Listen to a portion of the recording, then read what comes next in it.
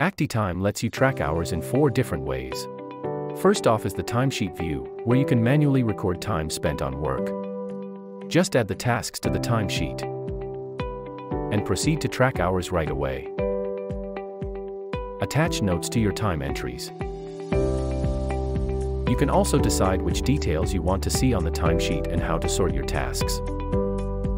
Here you can also manage work statuses and track leave time.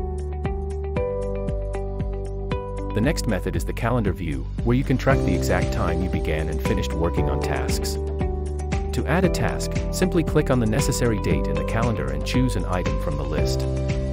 Then, indicate the duration of the task and when you worked on it.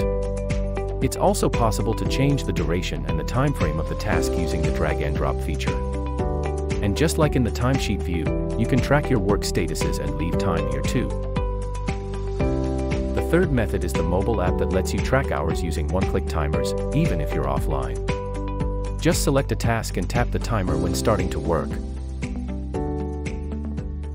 When finished, tap the timer once more, and add it to the activity interface to see when exactly you worked on the tracked task.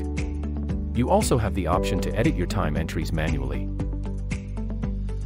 And submit leave time. Finally, we have Time Management Assistant, a fully automated browser extension for online activity tracking. First, decide which websites and apps you want it to track, and set your data synchronization rules.